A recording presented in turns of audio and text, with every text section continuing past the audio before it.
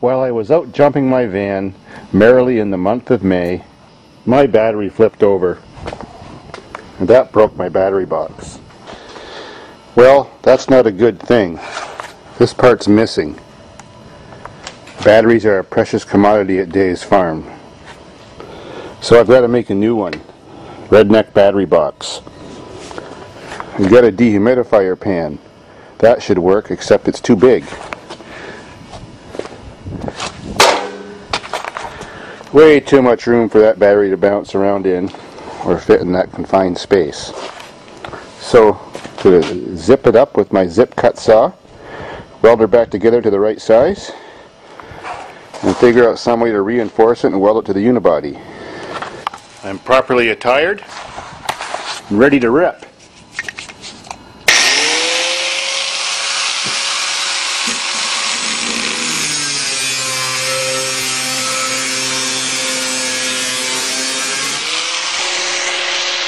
Less than one minute later, my bucket is in four pieces. You can also do this with a tray that comes out of the bottom of a fridge. I'm calling this resizing the bucket. Now I take the pieces, put them together and overlap them.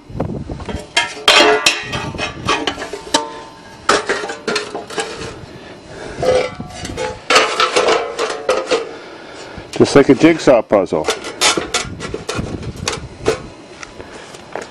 There, now I have a bucket, the right size for my battery. I just have to weld it together in a few spots. Cool. Like it was made for it now. A few vice grips later, now it can stay in position while I weld it without the battery. Ready to roll.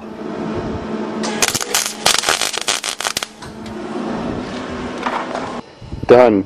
It wasn't necessary to completely weld it seamlessly so that it could hold liquids because it's never never going to have to do that again. Be good if the battery acid leaked out had someplace to go. So I've removed the broken battery box and underneath there was this handy dandy mounting plate that I can attach my new bucket to. But over here I had to add another little piece of metal to bring this level up to the same height as this level so I have a wider point to weld my bucket to. That's the next step.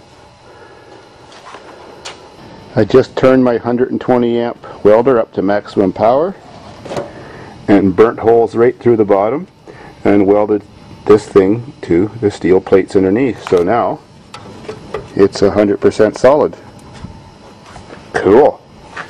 Ready for reinstallation almost. Lots of joyriding experience tells me that when a battery sits on a metal plate like that, it gets the bottom chewed out of it and leaks all its acid out. So I like to save these little floor mats and shove them in and protect my battery. Nice and cozy and color keyed to match. All done now. My battery's in there super snug. Nothing's even holding it down. Perfect. Try her out. Gotta love it.